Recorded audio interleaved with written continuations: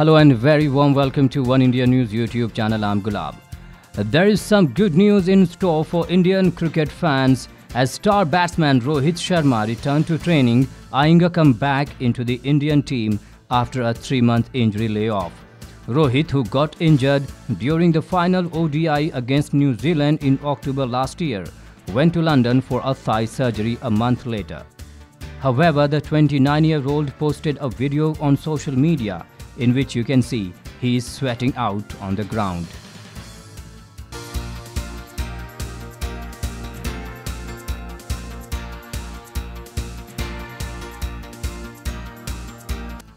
The injury forced Rohit to miss the entire series against England.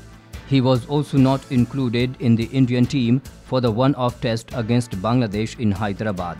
Rohit is now striving to return to the team for the upcoming four-test series against Australia starting February 23.